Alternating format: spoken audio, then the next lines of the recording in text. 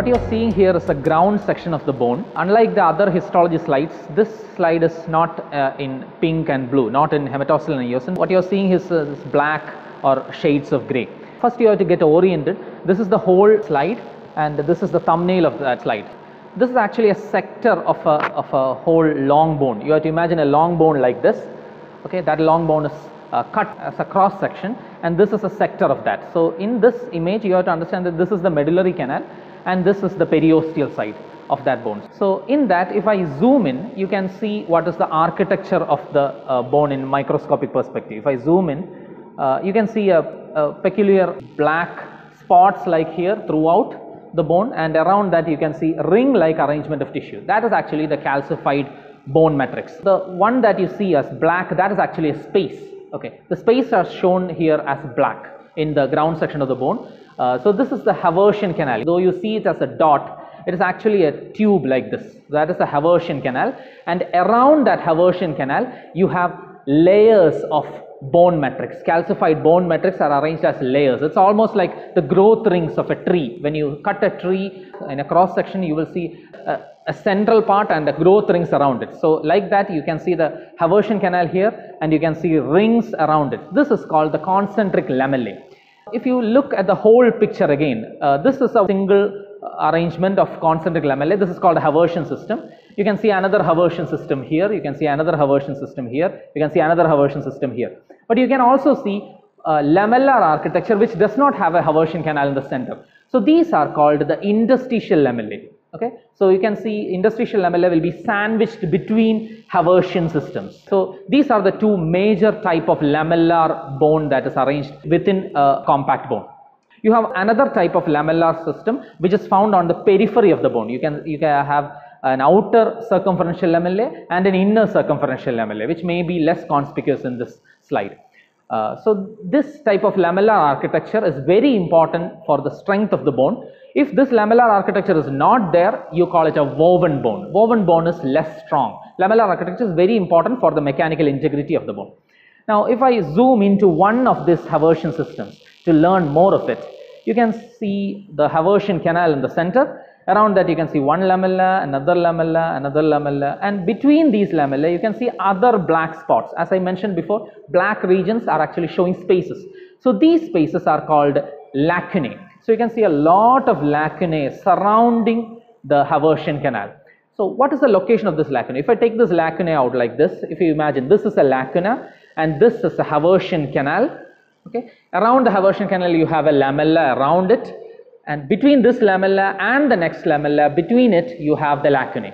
You imagine this is a lacuna, the lacuna has one lamella on this side, on the Haversian canal side and another lamella on the outer side.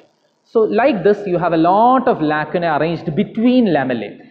Lacunae are the sites of osteocytes. So osteocytes are located within this lacuna and the osteocytes will leave off processes, cytoplasmic processes. Osteocyte is a cell, it will leave off cytoplasmic processes that will go out and uh, penetrate through holes, through canals in the lacunae and they are called canaliculi. So the canaliculi will be directed either towards the Haversian canal or they will be directed away from the Haversian canal. You can see this exact pattern in this picture. If you look at this, you can see lacuna here and you can see faint thread-like lines on both sides. One is going towards the Haversian canal and the next is going outwards. So they are radially arranged uh, canaliculi which contains the cytoplasmic processes. So as I mentioned before, Haversian canal will contain uh, small vasculature, the lacunae will contain osteocytes and these canaliculi will, will contain cytoplasmic process. But all these that you see here as black are actually spaces.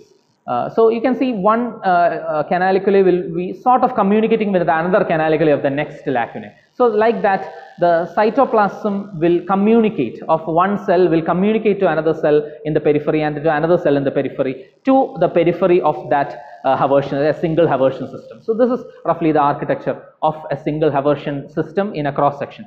Now if we uh, look at another view, I am going to another slide uh, and here you can see the color is almost looking similar but there is a, a difference here, there is no ring like pattern. So th this is actually the longitudinal section of the Haversian canal. Earlier we saw uh, a Haversian canal like this with rings around it but if I take this Haversian system and place it like this and take a cut like this instead of a cross section if i cut a longitudinal section you can see a haversian canal here and around that you can see concentric lamella but this doesn't look concentric anymore because the cut orientation.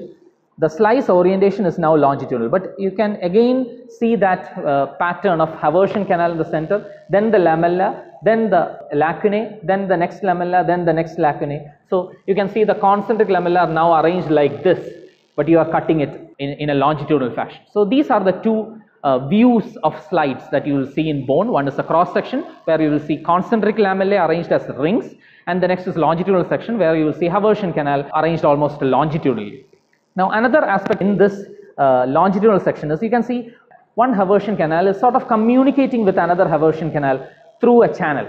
These are called perforating canals or Volkmann's canals. You can see that sort of arrangement throughout this bone. If I zoom it out, you can see one uh, Haversian canal here, another Haversian canal is sort of communicating here, through here. These are called Volkmann's canals. Volkmann canals are also seen in the other view. I'm shifting, switching back to the uh, this view where you can, can you see uh, a Haversian canal here is having a, a, an extension over here. So you have to imagine this three-dimensionally. This is a Haversian canal that will give off an extension to the next Haversian canal. And when I cut it cross-sectionally, you will see one Haversian canal having an extension. So that is what you are seeing here. You can see that sort of extensions of one Haversian canal to another Haversian canal throughout this bone when you look at the big picture of the bone. So all this you can understand if you get a three-dimensional perspective of of the bone.